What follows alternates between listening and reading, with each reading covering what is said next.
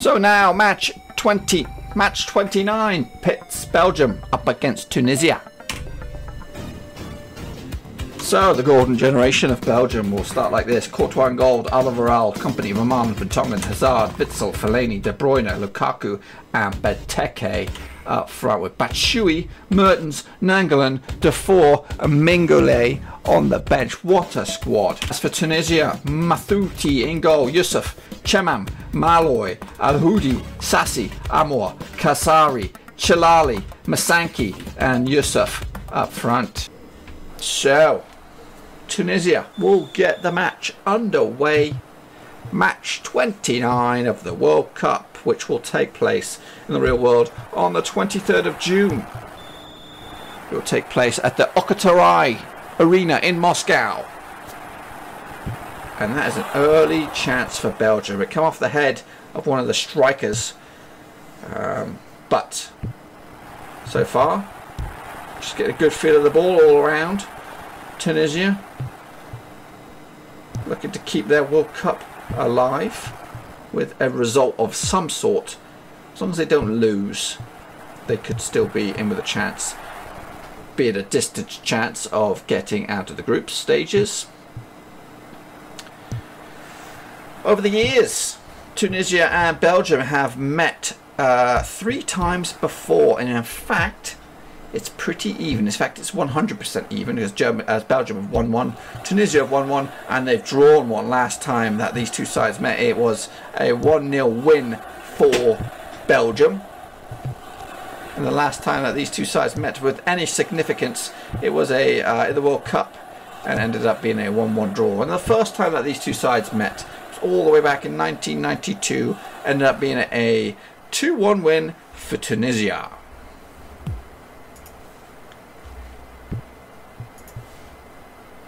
This will be Belgium's 13th World Cup and it will be Tunisia's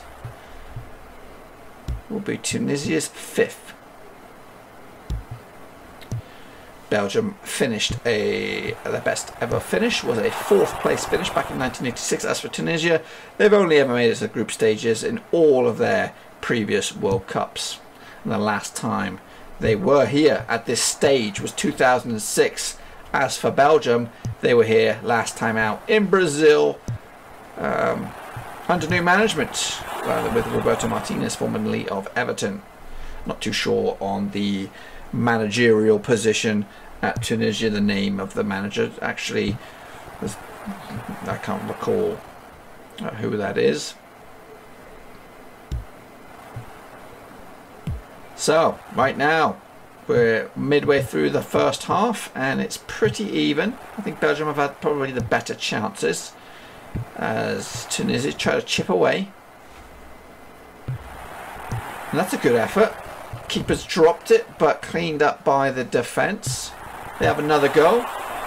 And again it's kept out. So maybe, just maybe the tide is turning and Tunisia now look the stronger of the two sides. But Belgium have quality on board with the likes of Eden Hazard, Lukaku, Benteke. They've got such a quality side that they should be, you know, when you think about it, it is the best. I think it's the best squad.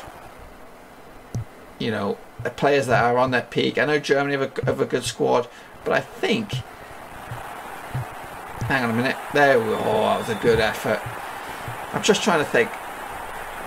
Man for man, I think I would say Belgium have the greatest squad in the in the uh, in the World Cup.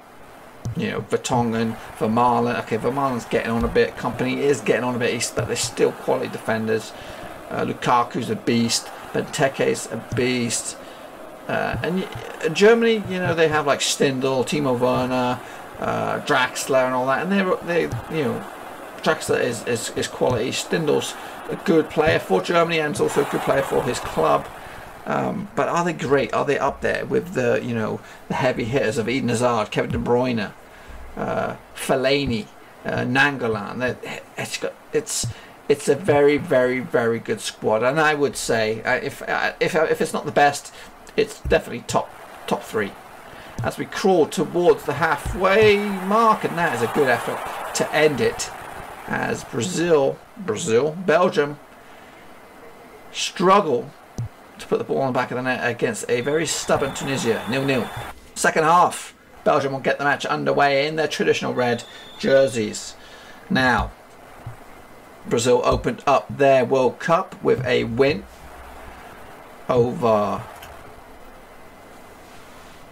Panama and uh, Tunisia lost to England 2 0.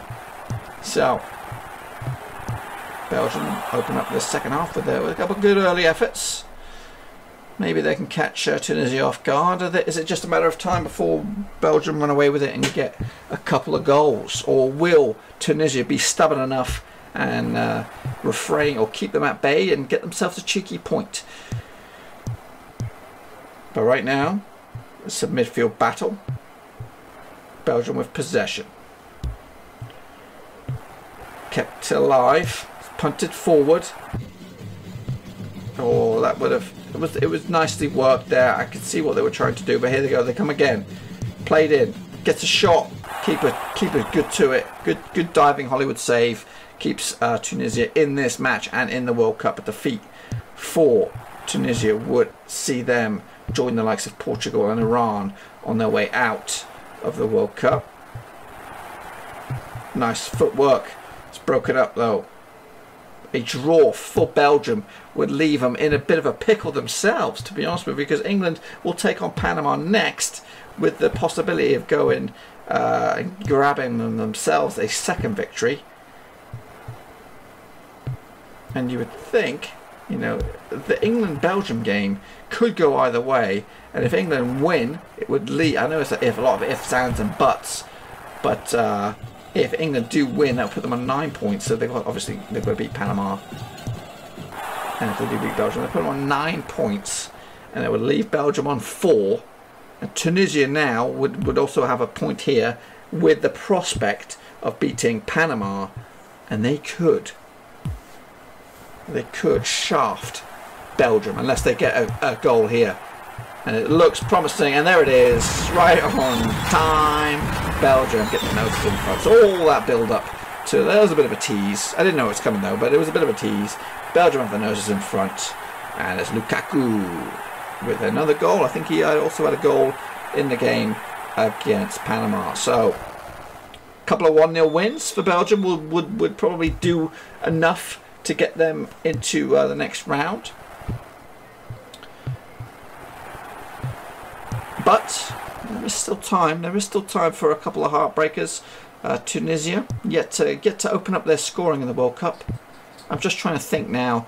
Is there any hope left for Tunisia, despite losing? If they were to lose this, uh, they would need a Panama victory against England to keep them in. So it's not not 100% out, but they're going to be facing an uphill battle, even if Panama were to upset the odds. Floated in there. Broken up. They got they are less than one minute away from a massive uphill struggle, but Belgium less than a minute away from qualifying, and that strike looks good. That's a great save by Tunisia. Around about 30 seconds left of the match. It's punted forward. Can they get a lucky break? No. Here come Belgium once again looking to add to their tally. Goals. The goals for column could do with a boost.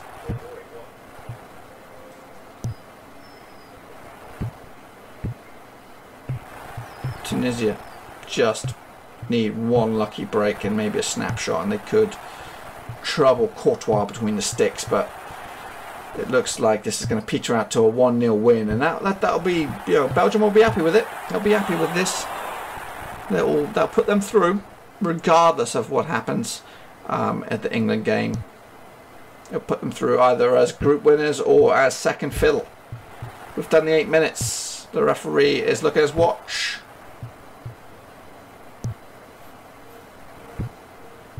And there you have it. Brazil win 1-0. Just to recap the stats for the day, uh, six shots on target for Belgium, one in the back of the net. Tunisia did okay. They according to this, I, I don't recollect them actually having a shot on target, but I don't know. Uh, they had four shots on target, uh, so Courtois was a little busy. Just to recap the score, Lukaku on 6 minutes 25 seconds. As for discipline, nobody in the books. And after that result, here's an updated look at the table.